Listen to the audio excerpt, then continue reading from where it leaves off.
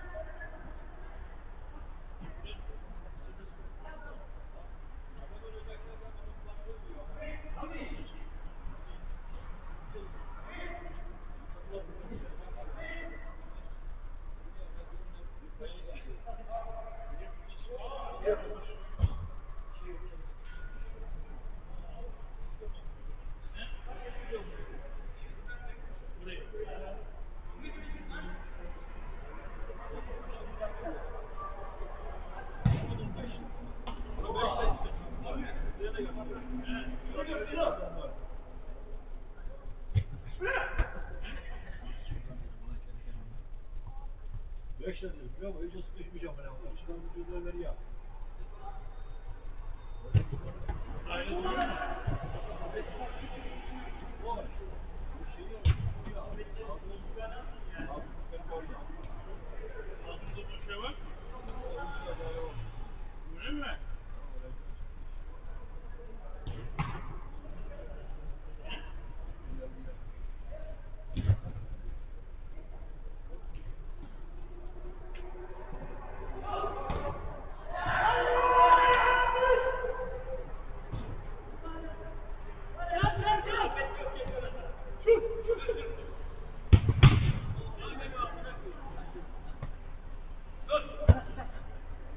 Słyszę to.